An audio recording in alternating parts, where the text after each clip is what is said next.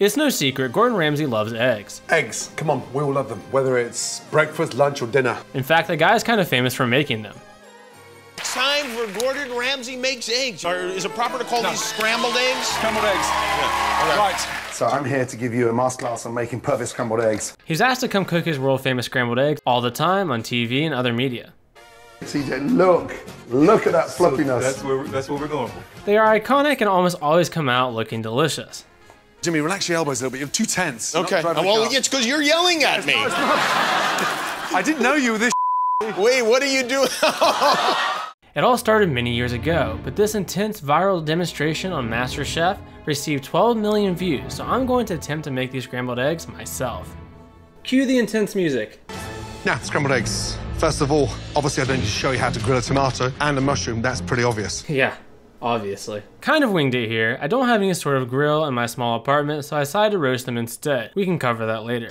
But the secret behind any great scrambled egg is to make sure you do not overcook it. Which I did, so on to the second attempt. Start off with cold eggs, straight in. Eggs going straight in. Everyone knows that the only way to not get bullied at cooking school is to show up knowing how to crack eggs using only one hand, and then picking out the eggshell pieces that fall in when nobody is looking. Off to a great start. You take your butter, three small knobs of butter. Three knobs of butter, whatever measurement that means. I googled it, but even the computer overlords weren't exactly sure how to define it. Going off my eyeballs, it appears that three small slices will suffice. From there, on to the stove. You bring the gas up high and then start cooking the eggs very gently. You must be delicate with the eggs as you bring them up to high heat. You wouldn't want them to get offended. Every time I stir, I'm cleaning the bottom of the pan. Every time I stir, someone watching this is going to like this video and subscribe to my YouTube channel. Also, the eggs are trying to stick to the bottom of the pan, but I just won't let them. This has become personal for me, whether that be right or wrong. If we were to season the eggs now, they would go grey. As someone who loves gray eggs, this step was hard for me. So, 30 seconds on, back off. That slows down the cooking process, stops the eggs from overcooking. I remove the eggs from the heat because the cooking process needs slowed down and we want them to work for it. If the eggs were given everything they asked for in life the moment they ask for it, then why would they ever learn to appreciate and know what it means to struggle? Back on. If you've overcooked it, you'll see the scrambled eggs go really watery. Whoa, let's reverse that for a second, Gordon. Those look watery. Did you overcook them? I'm not sure what to make of all of this in all honesty. Back on, by Gordon's logic, if my eggs look watery, they might be overcooked. But by my logic, if they look watery, they might be undercooked. So by that logic, I might be f So it's really important that you go on and off, on and off throughout the whole three minutes. So they're just starting to thicken up now. I'll come back off the heat. My eggs are already starting to thicken up because I have been taking them on and off the heat when you guys aren't looking. I figured I would just spare everyone's attention spans and just keep the amount of repetition to a bare minimum. But the technique actually is pretty fun and the results were surprisingly great. Now we've cooled it down, back on to the heat again. We've cooled them down, so now we need to add them back to the heat because we are possibly sociopaths. Now, take your toast, the tomatoes, and then your mushrooms. Let's run it back for a minute here and get our tomatoes and mushrooms prepped for our breakfast plating because as of now we don't have any of that ready to go. I'm not doing anything fancy, just going to slice these cherry tomatoes in half to make them easier to roast. And once I have everything added to a baking sheet lined with parchment paper, I'm going to add a good bit of oil and seasoning. Just a drizzle of your favorite olive oil and we are on our way to Flavor Town.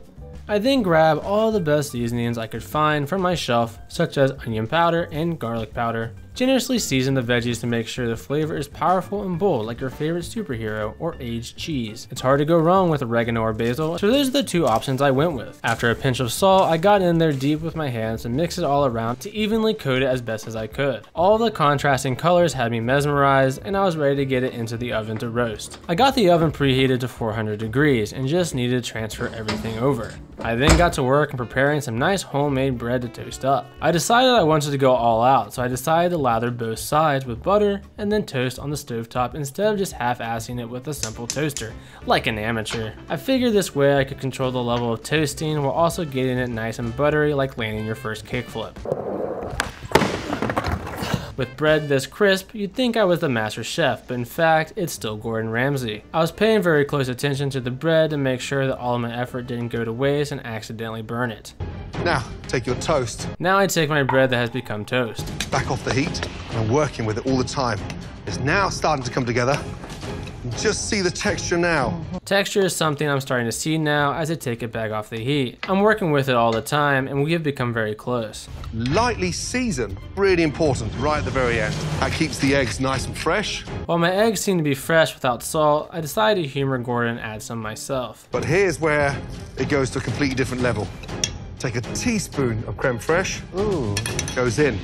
That gives a really nice creamy texture. My eggs are on a nice level, but it's time to go Super Saiyan with some creme fraiche. The signature look of Ramsay's eggs are how creamy they are, so I don't want to disappoint him or myself. Once I added the cream, I noticed that my eggs got to a texture of butter that had been left out for a while, which is actually what we are going for.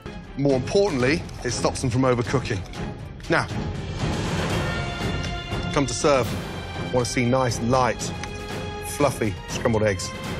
A little bit creamy, but scrambled eggs to die for. I wouldn't necessarily say I would die for my scrambled eggs, but I would definitely give up soda for them. They did end up light and fluffy, and about as great as I could hope for for only my second attempt. And then finally, finish with a little smidgen of chopped chives on the top. I couldn't find my kitchen shears, so I just had to prep my chives the old fashioned way, closing my eyes and then slicing and dicing until the chives submitted to my will. I then sprinkled them onto my eggs and marveled at what I just accomplished. And that's how a master chef perfects scrambled eggs.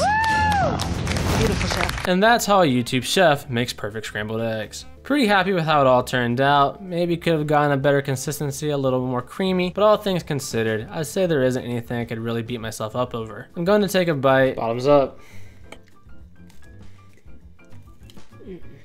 Mm. Honestly, pretty fantastic.